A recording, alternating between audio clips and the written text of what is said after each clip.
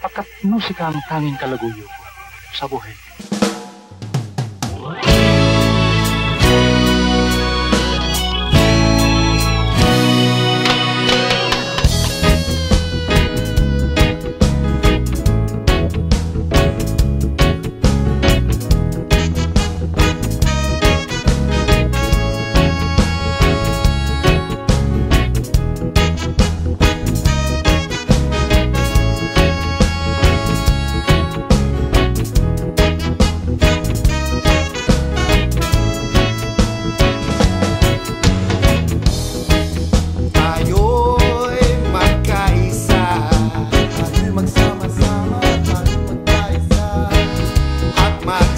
amassar.